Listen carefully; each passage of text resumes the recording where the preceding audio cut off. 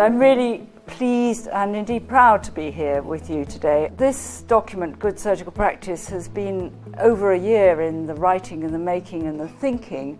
Good Surgical Practice is publication from the Royal College of Surgeons in England talking about their core standards as related to good medical practice. They talk about attitudes, behaviours and the underlying professional attributes of surgeons. I think it's all about the standards and values that we have in surgical practice that is so inspiring. The NHS for a long time has accepted poor values and standards and individual surgeons have produced a huge amount of variation in practice, variation in standards, which has led to variation in outcomes and the Royal College's standards have produced a framework of, of, of values really. It's values as much as rules I think that will enable surgeons to practice so much more safely in the future.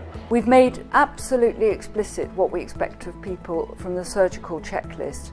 I think we can no longer allow people to vacillate about whether this is important or not important. The general view is a bit like washing your hands. This is something you just have to do.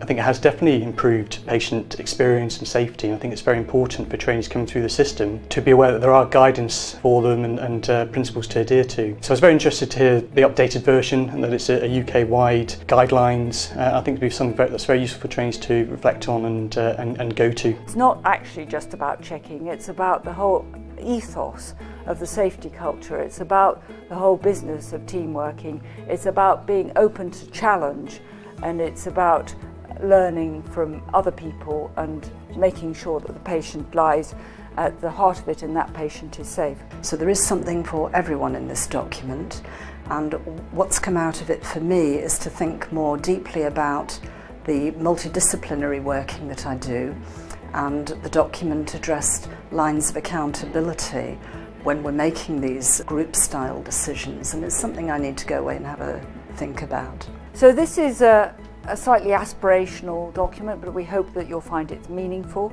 We know that some aspects of it you can't do on your own, but by engaging with the people with whom you do work, your trust, your management, by being part of the solution, we think that you can make a phenomenal contribution towards the employers that you work for, to the environment you work in, and to the people you will train to be the next generation of surgeons. So it's a big responsibility of you all, and that's why we wanted to produce guidance to help with that. I think for me, good, good surgical practice is a reminder of the standards I should be striving to in my own personal surgical practice and in a wider context uh, in the hospital and in the NHS in general, the standards we should be striving for that will improve patient outcomes. UHSM has been a fantastic occasion.